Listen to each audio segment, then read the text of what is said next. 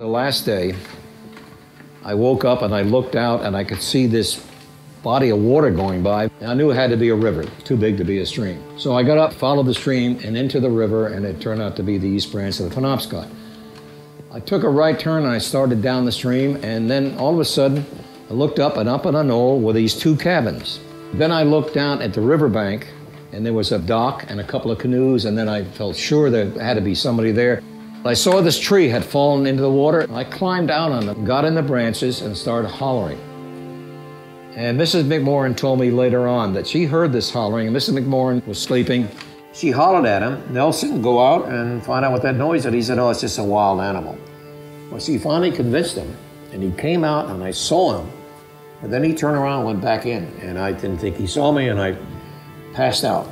He'd gone in to tell his wife to call Stacyville or Patten, where the ranger station was, or some station, to let them know that he had seen me, he knew who I was, and he was coming over to rescue me.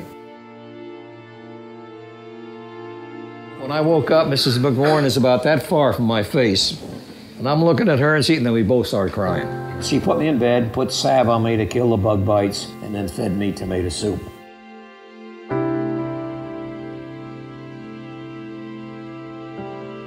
Uh, that's me, and of course my hair was a little darker then. Uh, I don't know whether I was mad at something or the bugs were at me. I really, I didn't look like I was a happy camper.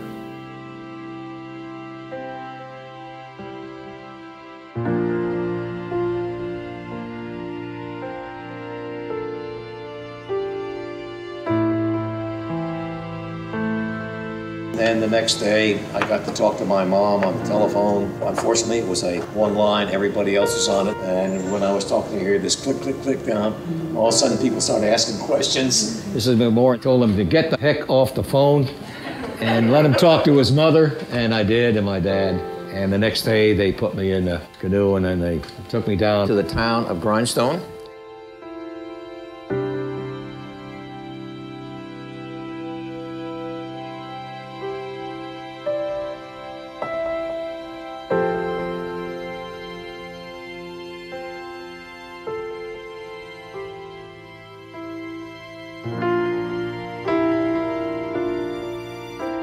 Uh, there's my mom, whose arm is on the gunwale of the canoe, and the lady in the t-shirt is her best friend. And Dr. Young has given her the devil because she had almost tipped the canoes over. And then she gets me up to wave, and he didn't think much of that. And he's going to tell her too. He's telling me to sit still.